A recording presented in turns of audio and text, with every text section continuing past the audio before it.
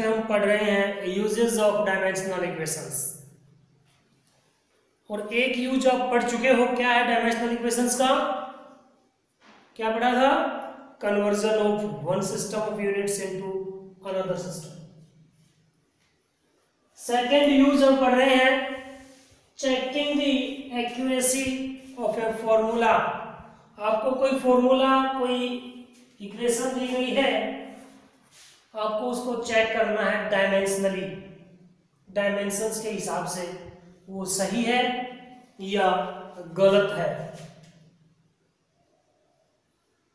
तो इसमें एक कंसेप्ट लगेगा principle of homogeneity principle of homogeneity क्या है? According to this principle only that formula will be correct in which dimensions of both the sides left hand and right hand side are equal केवल वही formula सही होगा जिसमें दोनों तरफ़ के डायमेंशन एक जैसे होंगे ठीक है तो क्या कहेंगे यहाँ पर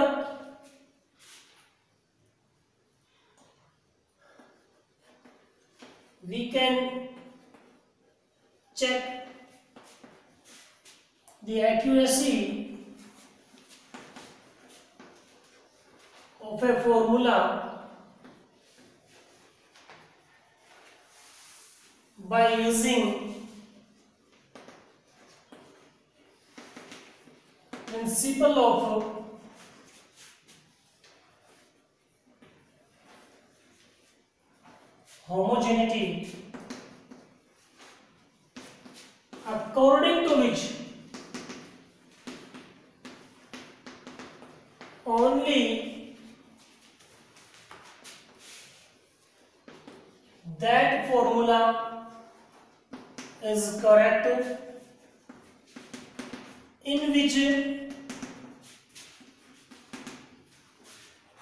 dimensions of both sides are same. ठीक है? एक चीज़ आपको और बता देते हम कि only like quantities can be added और सब्ट्रैक्टेड ये भी दिमाग में लेके चलना है यहाँ पर। केवल एक जैसी क्वांटिटीज को ही हम ऐड या सब्ट्रैक्ट कर सकते हैं। जैसे स्पीड है तो स्पीड में आप स्पीड ही जोड़ सकते हो स्पीड ही घटा सकते हो। फोर्स में फोर्स को ही जोड़ा जा सकता है फोर्स को ही घटाया जा सकता है। ये नहीं है कि आप स्पीड और फोर्स को जोड़ दो मैं आपसे कहूँ कि 10 मीटर पर सेकंड में आप प्लस कीजिए 20 न्यूटन तो क्या कोई रिज़ल्ट निकलेगा दोनों चीज़ अलग अलग है। ये फोर्स है, ये स्पीड है। नहीं हो सकते। सिंपल सी बात है भाई कि भाई मैं आपको कहूँ कि एक कमरे में चेयर है कुछ।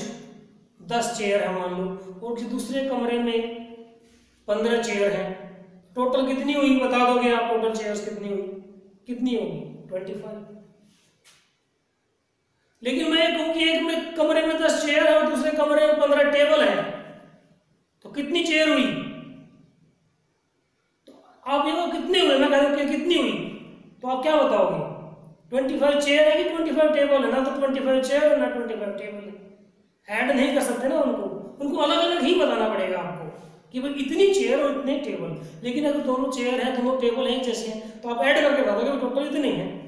तो ऐसा ही यहाँ पर भी लगता है क्वांटिटीज में भी केवल like quantities can be added और सब्ट्रैक्टेड यहाँ पर आप नोट करेंगे चीज़ भी। Only like quantities can be added और subtracted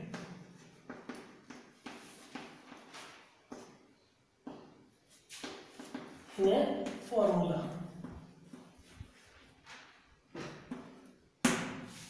अब इसको हम समझते हैं कोई एग्ज़ाम्पल लेकर।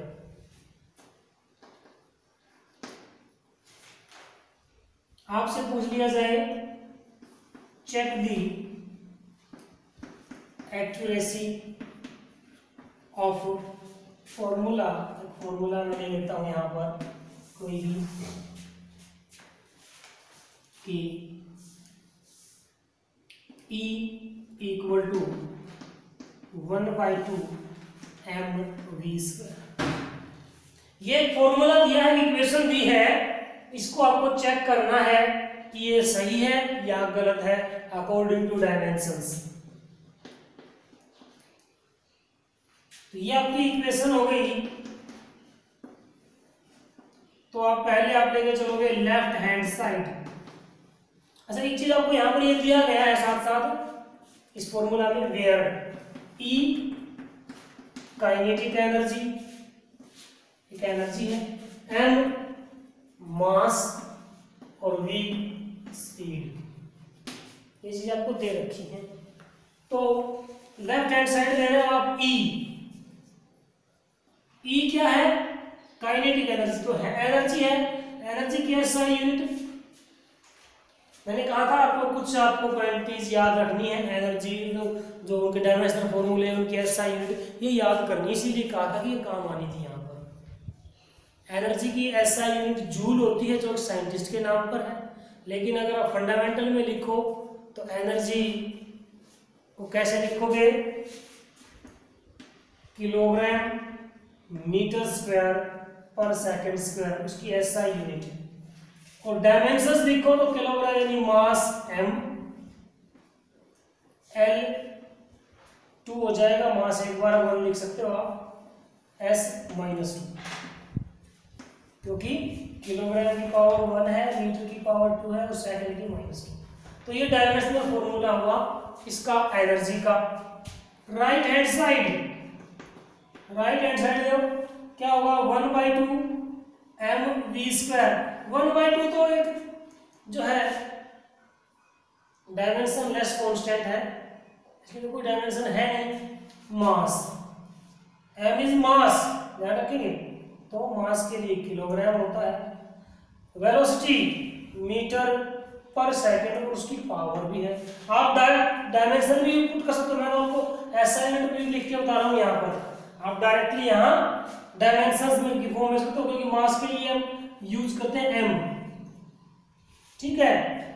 लेंथ के लिए जो वेलोसिटी का डायमेंशन फॉर्मूला आपने पढ़ा होगा टी माइनस वन इसकी पावर टू है। टोटल डायमेंशन फॉर्मूला कितना बनेगा? एम वन देखो ये दोनों की पावर है तो एल की पावर भी टू हो जाएगी और टी की power minus one into two तो minus two M one L two T minus two तो क्या पता चल रहा है? लेफ़्ट हैंड साइड और राइट हैंड साइड इक्वल है। Left hand side equal to right hand side so formula is correct dimensions के अनुसार ये फॉर्मूला सही है। ठीक है? एक और ले लेता हूँ बैक फॉर यहाँ पर एग्जांपल कि चेक कीजिए इसमें। नेक्स्ट क्वेश्चन जो है, ये वाला पहला था, दूसरा एक और लेते हैं। S equal to U T plus half A T square check करके बताना आपको कि डायमेंशंस के हिसाब से सही है या गलत है। क्या करना है इसकी? एक्यूरेसी चेक दी एक्यूरेसी जहाँ पर एस डिस्टेंस है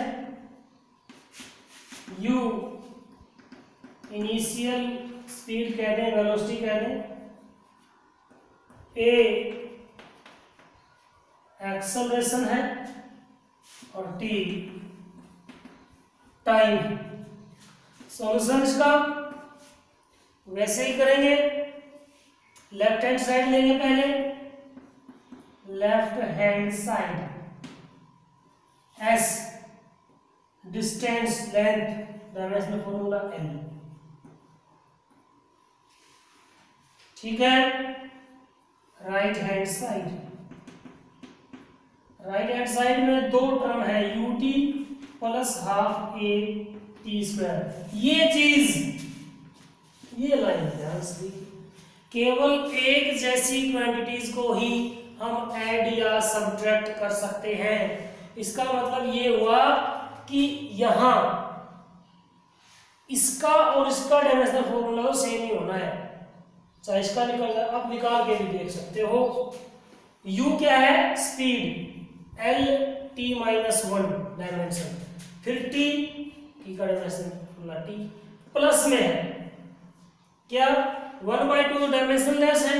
ए एक्सलेशन का होता है एल टी माइनस टू आपने अगर याद किए हैं तो टी के लिए फिर कैपिटल टी और उसकी पावर टू देखो।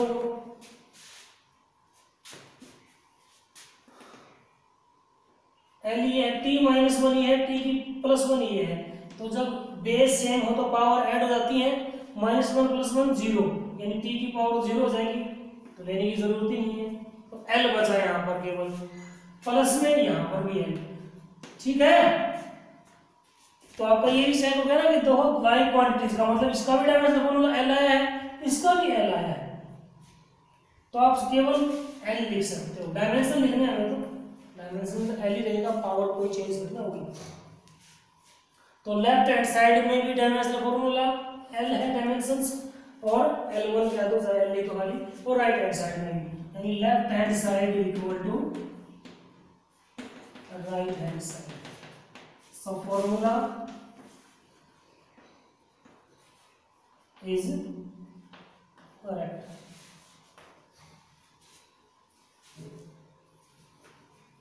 तो ये दूसरा यूज़ हमने सीखा किसका? डायमेंशनल इक्वेशंस का। क्या किया? किसी फॉर्मूला को चेक करके बताया कि डायमेंशंस के हिसाब से वो सही है या गलत है। ठीक है? नेक्स्ट यूज़ डायमेंशनल इक्वेशंस का हम पढ़ने जा रहे हैं। Derivation of the formula of a quantity कोई क्वांटिटी है, उसका फॉर्मूला ड्राइव करना, निकालना, उसका फॉर्मूला क्या होगा?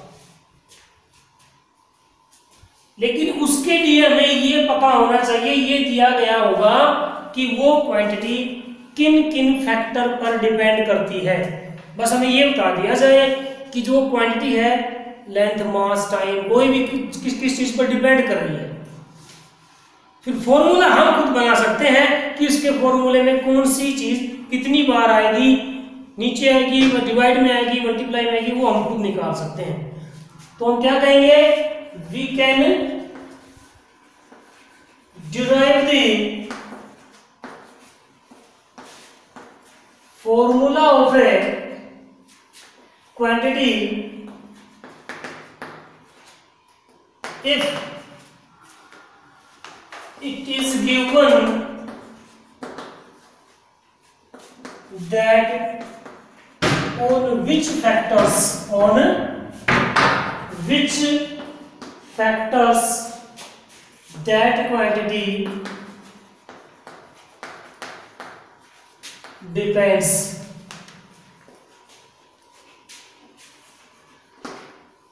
इसमें भी हम क्या यूज़ करेंगे? We will use principle of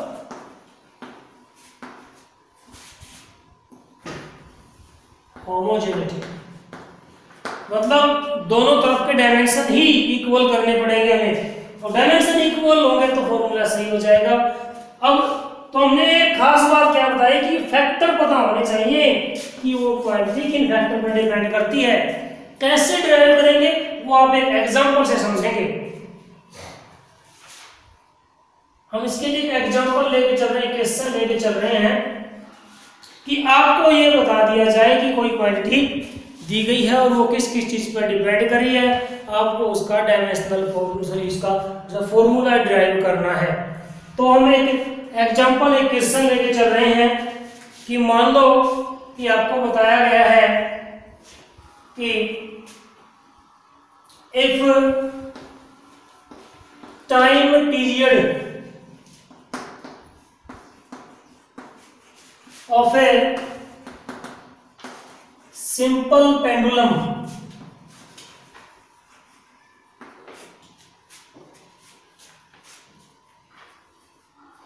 depends on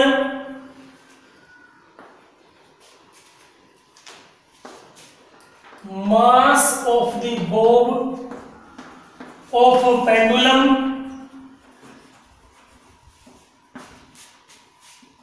bracket में एम लिख देता हूँ मैं length of pendulum L and acceleration due to gravity acceleration due to gravity g then derive the formula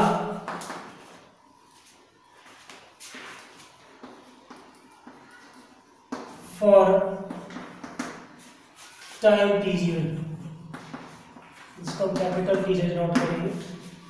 तो सॉल्यूशंस क्या कर रहे हैं? देखिए बड़े ध्यान से समझेंगे। काफ़ी काम आने की चीज़ है कि हमें जो दिया गया क्या दिया गया है? According to question according to question कि जो टी है टाइम पीरियड डिपेंड करता है मतलब प्रोपोर्शनल मान लेते हैं हम। हमें नहीं पता कि डायरेक्टली है इनवर्सली है, लेकिन प्रोपोर्शनल डिपेंड तो करता ही है। किस किस पे? मास पे। पेंडुलम में जो बॉब होता है, उसके मास पे लेंथ पे और acceleration due to gravity G पे। अगर ऐसे लिख दिया तो ये तो डायरेक्टली प्रोपोर्शनल हो गए इनके, लेकिन हमें नहीं पता कि डायरेक्टली या इनवर्सली है तो इनकी पावर मान लेंगे अपने आप कि m की पावर a, l की पावर b और g की पावर c मतलब मेन हमें इन्हीं को कैलकुलेट करना है, इन पे डिपेंड कर रहा है टी अब डायमेंशनल सॉरी प्रोपोर्शनलिटी का साइन हटाएँगे तो इक्वल लेंगे और यहाँ एक कांस्टेंट आ जाएगा मान लो कि m power A L power B और जी पावर c इक्वेशन हमें ये ए बी सी और मिल जाए तो फॉर्मूला हमारा आ जाएगा। तो हम अगला स्टेप क्या लेंगे? Taking dimensions on both side. दोनों तरफ़ डायमेंशन लेने पर। ये डायमेंशनल फॉर्मूले जो याद करने के लिए बोले थे, वो यहीं पर काम आते हैं। टी टी के लिए टाइम यानी मास तो है ही नहीं इसमें एम ज़ीरो लेंथ भी नहीं है तो एल ज़ीरो टी है टाइम एक बार है तो वन के डायमेंशन लेस कांस्टेंट है, कोई डायमेंशनल फॉर्मूला नहीं। एम यानी मास पावर ए एल यानी लेंथ के लिए एल पावर बी जी यानी एक्सेलरेशन ड्यू टू ग्रेविटी तो एक्सेलरेशन का डायमेंशनल फॉर्मूला देगा एल टी माइनस टू और पावर है सी इकट्ठा कीजिए पूरा ये। ये तो इधर ही रहेगा। M zero L zero T one और M power A L B तो पावर यहाँ है, और सी यहाँ से आएगी। टी की पावर माइनस टू सी क्योंकि माइनस टू अंदर है सी बाहर है तो मल्टीप्लाई हो जाएँगे माइनस टू सी अब लगेगा प्रिंसिपल ऑफ़ होमोजेनिटी तो मतलब अगर फॉर्मूला सही है तो डायमेंशन भी सही, दोनों तरफ़ सेम होने चाहिए। और हमें तो सही निकालना है। हम क्या कहेंगे? Equating the dimensions on both side देखिए ध्यान से। इधर राइट साइड में m की पावर है a लेफ़्ट साइड में है ज़ीरो ए आ गया. राइट साइड में एल की पावर है बी प्लस सी दूसरी साइड में है ज़ीरो बराबर होनी चाहिए. राइट साइड में टी की पावर है माइनस टू सी और उधर है वन तो C equal to minus one by two C की यहाँ पुट कर देंगे D minus one by two zero B equal to one by two putting these values.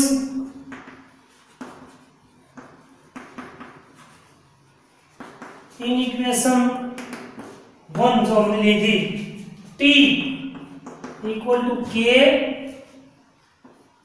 M की पावर ज़ीरो एल की power one by two g की power minus one by two C थी तो क्या बन जाएगा? T equal to K m की power zero यानी one L power one by two नीचे आके जी की पावर वन बाई टू उसको सकते हैं K under the root L by G दोनों की पावर वन बाई टू है तो रूट अंडर द रूट ये आपके पास फॉर्मूला आ गया। डायमेंशन से आप इतना नहीं लिख सकते हो। के अगर आपको पता है तो आप लिख सकते हो, नहीं तो ऐसे के छोड़ दो। यहाँ हमें पता है, हम लिख सकते हैं वेयर के इक्वल टू टू पाई होता है, इस फॉर्मूला में, अगर नहीं पता तो कोई बात नहीं, इतना भी इतना छोड़ सकते हैं हम। तो t equal to two pi under the root L by G तो इस प्रकार अगर कोई भी क्वांटिटी उसके हमें ये पता है किन फैक्टर पर डिपेंड करती है। तो उसका डायमेंशनल फॉर्मूला हम का यूज़ करके उसका फॉर्मूला डिराइव कर सकते हैं कि क्या आएगा। ठीक है? तो ये तीन यूज़ थे डायमेंशनल इक्वेशंस के। आगे इसमें हम कुछ एक थोड़े बहुत और इनसे रिलेटेड ऐसे न्यूमेरिकल करेंगे एग्ज़ाम्पल करेंगे ताकि आपको ये कंसेप्ट क्लियर हो जाए। थोड़ा सा इस चैप्टर में थोड़ा सा रहता है। वो बताएँगे आपको नेक्स्ट वीडियो में। अभी के लिए इतना ही। Okay thank you